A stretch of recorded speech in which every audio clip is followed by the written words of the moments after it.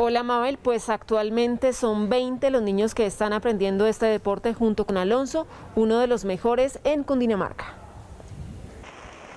Alonso es un hombre que perdió la visión hace tres años y como parte de su recuperación aprendió tiro con arco. Ahora hace parte de la formación de nuevos deportistas.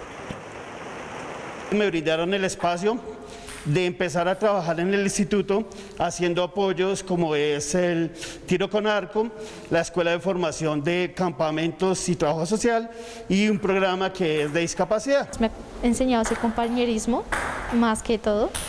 Eh, Sí, eso sería una de las cosas principales que me ha enseñado. Las capacidades de Alonso son los que los llevan, digamos, a tener un vínculo laboral con nosotros en los diferentes programas.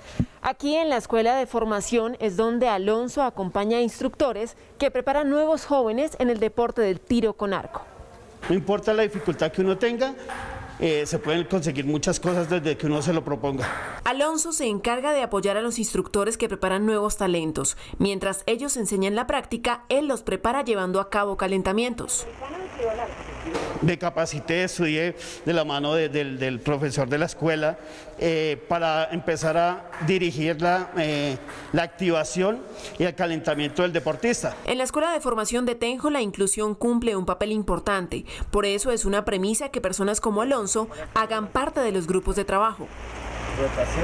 Alonso viene a una inclusión laboral, ¿sí? para darle el apoyo y que él siga en su proyección deportiva. Como entrenadores, en el tema de discapacidad nosotros tenemos que acoplarnos a ellos.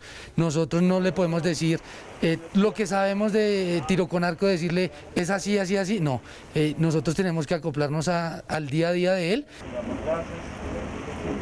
Este deportista ha participado en diferentes torneos a nivel departamental y nacional y espera seguir formando a jóvenes en el tiro con arco.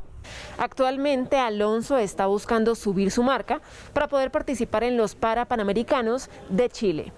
Desde el municipio de Tenjo informó Carolina Escandón para Enlace 13.